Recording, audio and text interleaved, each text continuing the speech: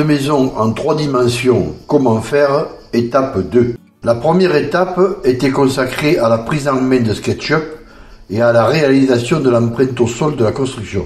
Cette seconde étape est consacrée à la réalisation des murs du vide sanitaire et de la dalle. Je reprends donc mon modèle SketchUp avec l'empreinte de la construction. Je commence par représenter les murs extérieurs. Ils font 20 cm de largeur. Je réalise un vide sanitaire de 80 cm de hauteur. Je prends l'outil décalage, je clique. Je le présente sur la ligne la plus proche, je clique. Je déplace le curseur vers l'intérieur de la surface, je tape 20 sur le clavier et Entrée, et l'empreinte des murs extérieurs est créée.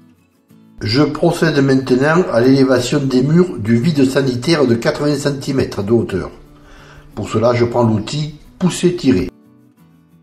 Je clique sur l'outil et je le positionne n'importe où sur la surface du mur. J'appuie sur la touche gauche de la souris et en restant appuyé, je tire vers le haut de quelques centimètres. Je lâche la souris, je tape 80 sur le clavier et Entrée. Mon mur fait maintenant 80 cm de hauteur. Arrivé à ce stade, pour figer cette vue du modèle sur laquelle je veux pouvoir revenir à tout moment, je crée une scène. Pour cela, je clique sur Affichage. Je descends dans la liste jusqu'à Animation. Je glisse à droite sur Ajouter une scène et je clique. J'ai maintenant une scène de créer. Je peux le voir inscrit en haut à gauche. Sur ce mur est posée une dalle composée de poutrelles, ourdis et chapes de béton. Généralement, le tout fait une épaisseur entre 16 et 20 cm. Je vais créer la dalle à l'écart du modèle. Pour cela, je clique sur une arête extérieure du mur.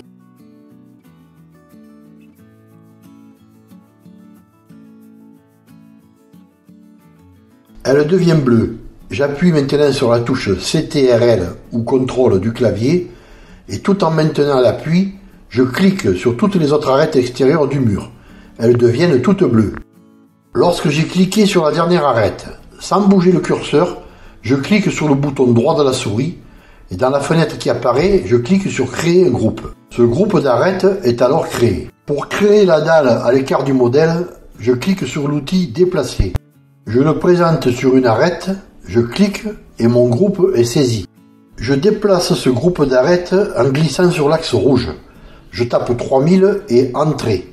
Je prends l'outil panoramique, la main, je me déplace dans l'espace et je m'éloigne en tournant la molette de la souris vers l'arrière. Mon groupe se trouve maintenant à 30 mètres du modèle. Pour pouvoir travailler sur ce groupe, je le sélectionne en cliquant sur une arête. Je clique alors sur la touche droite de la souris et dans la fenêtre qui apparaît, je clique sur Éclater. Le groupe est dissous. Je prends alors l'outil Ligne et je retrace une arête. Une nouvelle surface apparaît. Je crée maintenant une dalle de 20 cm d'épaisseur. Pour cela, je prends l'outil Pousser-tirer. Je le présente sur cette surface, je clique, je tire vers le haut je tape 20 sur le clavier et ma dalle de 20 cm d'épaisseur est créée. Je prends maintenant l'outil sélectionner. Je place le curseur un peu à l'écart de cette dalle, je clique, je garde l'appui sur la touche et en effectuant un déplacement en diagonale, je crée un cadre qui englobe ce modèle. Je lâche la touche et le modèle devient bleu. Il est sélectionné. Je place maintenant le curseur sur ce modèle, je clique sur la touche droite de la souris et dans la fenêtre, je clique sur Créer un groupe. Je m'approche en manœuvrant la roulette de la souris vers l'avant. Je prends l'outil Déplacer. Je clique sur la dalle et je déplace vers le mur du vide sanitaire. Je m'approche maintenant, je clique toujours avec le même outil sur ce point et je l'amène au contact du coin des murs. Je m'éloigne pour voir le modèle final dans son ensemble. J'enregistre ce modèle sur le bureau. Je le nomme Maison 3D 2. Voilà, c'est terminé pour l'étape 2. Pour consulter la version écrite et illustrée, rendez-vous sur le blog bâtir-sa-maison.net. Abonnez-vous pour être informé des futures publications.